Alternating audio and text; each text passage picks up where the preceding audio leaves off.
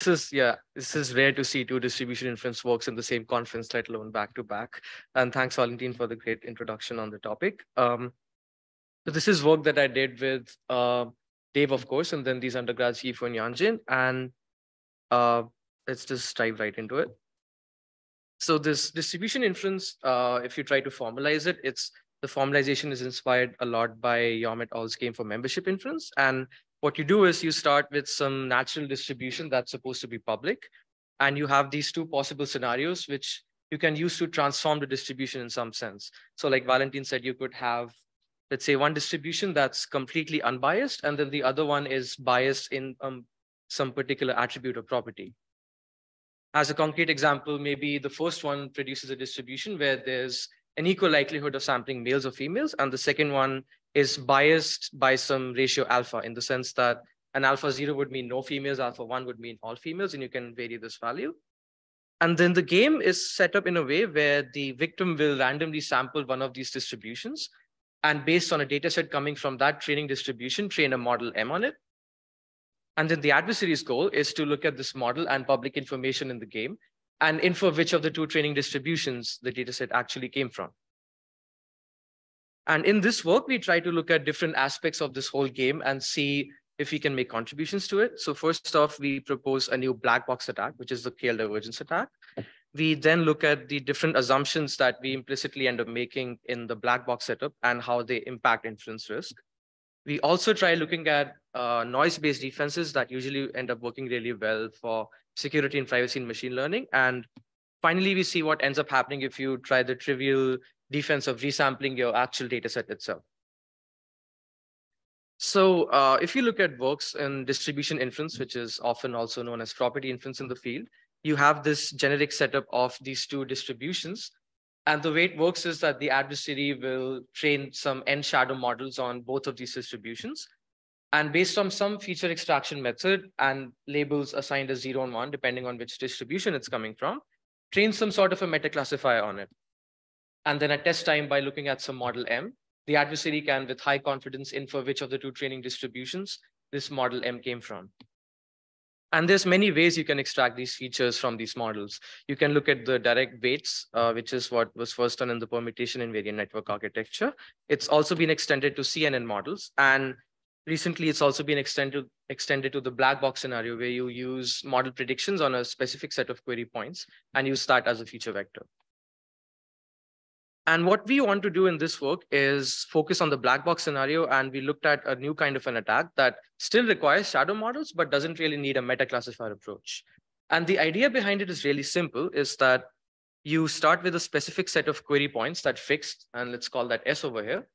And you note the predictions of the given victim model, as well as all of the reference models that you have from the first distribution. And let's say you have 100 points over here you can look at the predictions of these 100 points and use some distribution similarity metric, something like the KL divergence metric, to compute this value. And you repeat the same thing for the other set of shadow models. And the idea here is that based on the KL value, you can infer which of the two training distributions the victim model actually came from. And in practice, we observe that this attack works really well. Not only does it outperform the current state-of-the-art black box attack, which is the one by Ollier's group, it also outperforms the existing white box attacks and by a significant margin. So uh, to be specific in this graph over here, uh, we are considering the setting where one possible distribution is perfectly balanced in males and females. And then the other one can have an alpha ratio of females. And we try different alpha values across experiments to see how these attacks perform.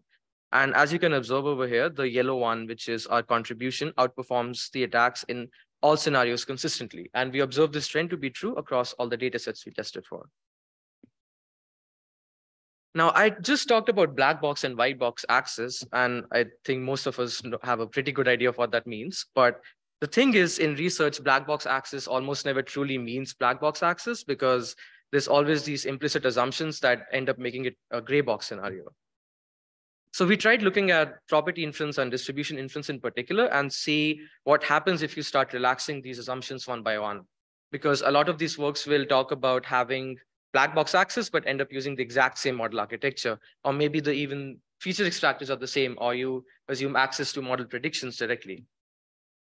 So as a specific example, I'll talk to uh, today about the label-only access.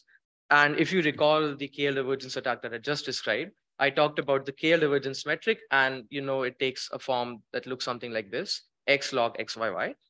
And it's perfectly fine if you have access to model predictions because the scores will vary in zero and one, so you don't really have to worry about any numerical errors. But as soon as you return model predictions instead of prediction probabilities, you run into this issue of having either zeros or ones, and you can't really use that in the log form over here. So we try to work around this uh, limitation in two possible ways. The first one is inspired by works in membership inference that try neighborhood sampling. So for a given input query point, you sample multiple points in some epsilon norm ball radius based on noise added to the input point and take the aggregate prediction to get some proxy for the confidence score.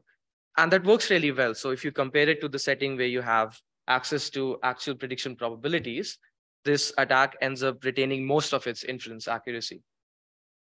But at the same time, you're also querying multiple times to the victim's model because it's based on neighborhood sampling. So instead of the one query would have used for the attack in the normal setting, you end up querying 10 times, which is a 10x increase. So we also tried looking at a more simple approach, which is just replacing the zero and one values with something like epsilon and one minus epsilon and just plugging it in the KL attack directly and see if that works.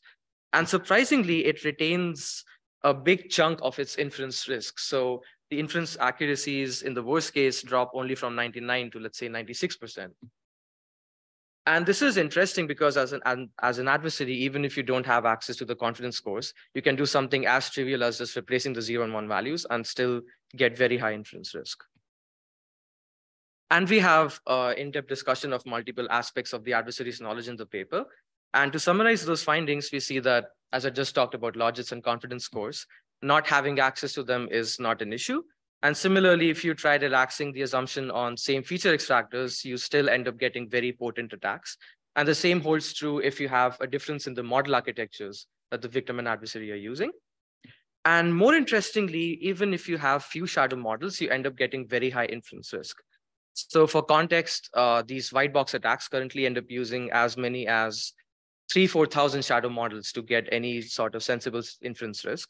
But with our attack, you can get high uh, leakage with as few as 10 shadow models. So that's a significant reduction in resource requirement. Now, having looked at all of these attacks and the situations where they can or cannot work, we wanted to look at potential defenses that could be helpful with distribution inference. And most of them are noise-based, which end up working really well if you think about uh, differential privacy or adversarial smoothing uh, for robustness. Specifically, we tried looking at differential privacy and just to clarify, theoretically, there is no reason for this to work because this is uh, focusing on the exact members and the membership, whereas distribution inference cares about statistical properties of the entire training distribution. But at a first glance, you may think that this, uh, this differential privacy is working really well because in the case where there's no DP, you get this attack success rate of about 80%, and it drops to as low as 70 if you have some sort of DP training for the victim model. But if you take a closer look at this setting, you'll observe that most of the drops in inference risk actually come from the difference in training setups. So it's not DP itself that helping uh, the victim model, it's the fact that the victim is using differential privacy while the adversary is not. And as soon as you account for this by having both of them use differential privacy, we see that the inference risk jumps back up. And in fact, it actually ends up being higher than the case where none of them were using DP. So not only does DP not help you, it actually ends up hurting you if you care about property inference. So any arbitrary model differences between the victim and uh, adversary will end up giving you a false sense of protection, whereas most of it is originating from this difference over here. And we also have experiments with different kinds of noise-based defenses. We try differential privacy, label poisoning, adversarial robustness. And the common observation is that these just do not work at all. So we also th thought of looking at things that might work. So if you recall the original example where there was a bias in the training distribution, if you look at this particular example, and let's say the blue one here corresponds to females and the orange is males, this could be something like 75% females and 25% males. So as a victim, if you want to hide this uh, ratio to, in some sense, the most trivial thing to do would be to resample and make a different synthetic distribution. So you could adjust it by either undersampling or oversampling such that you end up having an equal number of males and females. And while this does help with distribution inference and you end up getting no risk, this opens different kinds of problems. Specifically, if you care about fairness, this kind of a defense ends up hurting both precision and recall if you care about sensitive attributes in a data sets. And at the same time, uh, side channel attacks are also more vulnerable. So because of the repetitions in oversampling or the relative differences in uh, contributions of data points, you end up being more vulnerable to membership inference as well. And while we, uh, while we have tried to uh, look at different aspects of the distribution inference setup and make contributions in them, there's still a lot of open questions, as Valentin said. Uh, the first one being, is there a better white box attack? Because the fact that the black box attacks right now outperforms the white box attacks can have two possible uh, interpretations. The first one is that either there's untapped potential right now, or the trajectory, the trajectory over here is similar to membership inference, where usually black box attacks end up performing just as good as white box attacks. The second is thinking about model-free attacks, because even though we reduce the number of uh, shadow models from a few thousands to as low as 10, you still need to train those 10 models. And that may not be an issue if you're working with something like a ResNet, but if you some, have something like ChatGPT, you cannot even train one model. So thinking of attacks that don't really require shadow models is something we definitely need to focus on as a field. And the third is access to these distributions and sampling from them. So as I mentioned at the beginning, you uh, the we assume that the adversary has access to sampling the distributions and data from it. But what happens if the estimates of the distributions are noisy or if the adversary can only sample from one of the two distributions in the binary setting and seeing if the attacks that we have right now can still be modified to work in those settings. So any takeaways I would like the audience to have today is that distribution inference is surprisingly potent, even when these assumptions in the black box scenario are relaxed one by one. And the factors that impact this inference risk are not very well understood. Uh, I think Valentin's group made uh, very good contributions in that, trying to link it with causality. But the important thing over here is that the defenses that usually end up giving some sense of protection in security and privacy don't end up working really well here. And you can scan this QR code if you want to learn more about the work, and I'll be happy to chat with anyone about that. Thanks.